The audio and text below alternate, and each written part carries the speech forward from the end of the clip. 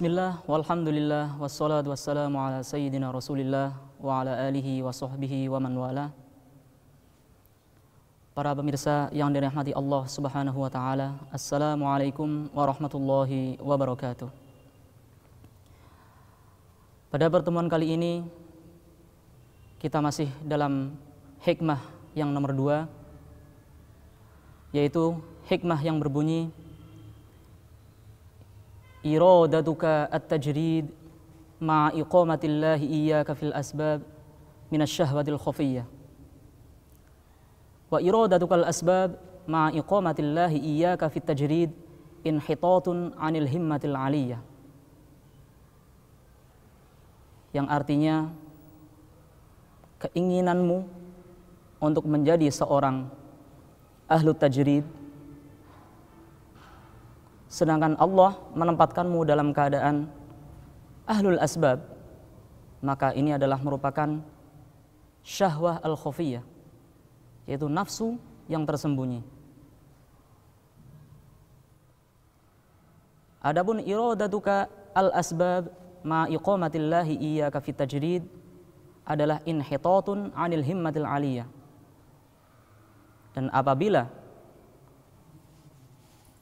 seorang ahlu tajrid menginginkan menjadi seorang ahlul asbab maka ini adalah merupakan turun dari himmah yang mulia. Sebagaimana kita bahas kemarin kita sudah tahu apa itu ahlu tajrid apa itu ahlul asbab. Mereka adalah sudah ditentukan oleh Allah Subhanahu wa taala. Si fulan merupakan ahlul asbab dan ailan adalah merupakan ahlul tajrid. Jangan sampai si fulan yang merupakan ahlul asbab berkehendak atau ingin untuk menjadi ahlul tajrid seperti al-ailan ataupun ailan pengen menjadi seorang yang ahlul asbab padahal dia merupakan ahlul tajrid. Apabila seorang ahlul asbab menginginkan dirinya menjadi seorang ahlu tajrid, maka ini adalah merupakan syahwah, merupakan nafsu yang samar. Dikatakan nafsu mengapa? Karena dirinya menghendaki terhadap sesuatu yang tidak Allah kehendaki.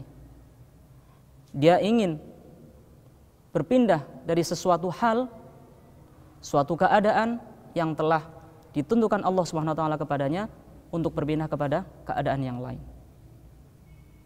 Dikatakan al-khafiyah yang samar karena apa? Secara zahir seorang ahlul asbab pindah kepada ahlul tajrid adalah semata-mata ingin mendekatkan diri kepada Allah Subhanahu wa taala dengan at-tajarrud atau dengan melepaskan segala urusan duniawi. Akan tetapi dengan niatan yang tersebut dia akan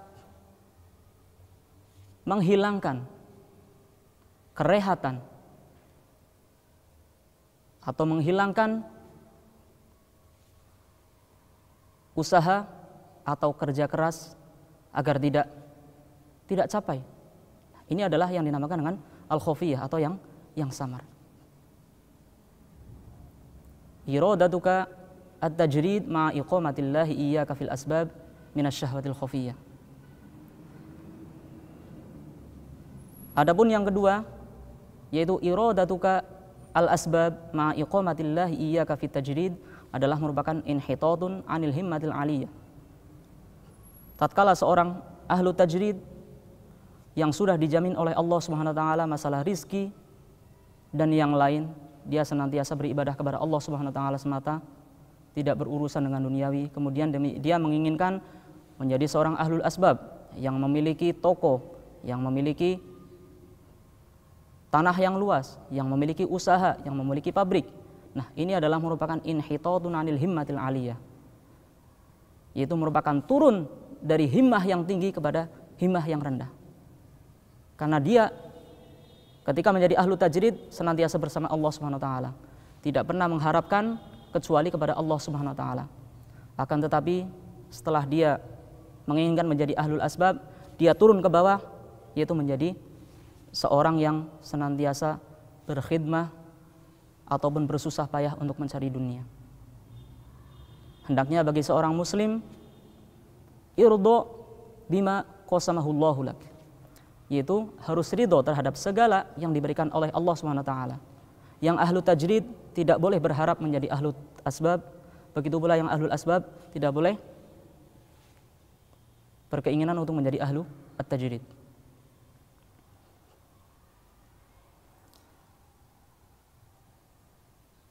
Ahlul asbab dan ahlu tajrid sebagaimana kita umpamakan pada episode beri, uh, uh, sebelumnya yaitu seperti halnya dua hamba yang memiliki satu tuan.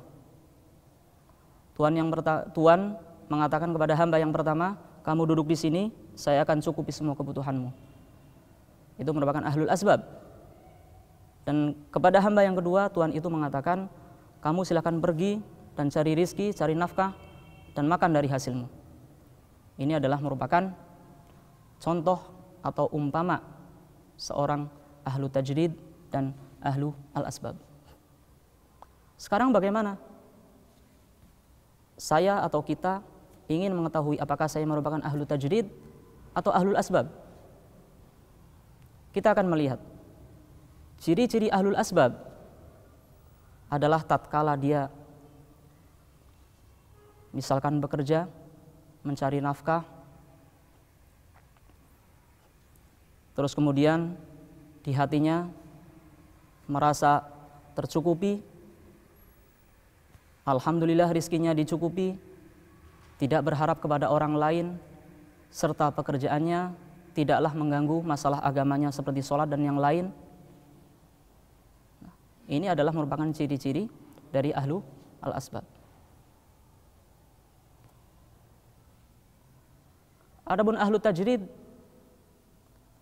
yaitu tatkala dia tidak memiliki pekerjaan yang tetap, tidak memiliki rizki yang tetap, akan senantiasa akan tetapi senantiasa hatinya tenang, hatinya berpasrah diri kepada Allah Subhanahu wa taala tanpa mengharap kepada makhluknya. Ini adalah merupakan ciri dari ahlu tajrid. Maka dari itu balil insanu ala nafsihi basirah. Masing-masing manusia itu lebih tahu terhadap dirinya sendiri. Yang ahlu tajrid jangan sampai menginginkan untuk menjadi ahlul asbab dan begitu pula sebaiknya, sebaliknya. Irdo bima qasamahullahu lak. Ridolah kamu terhadap apa yang telah Allah berikan kepadamu. Aku qauli hada wa astaghfirullah li wa lakum. Wassalamualaikum warahmatullahi wabarakatuh.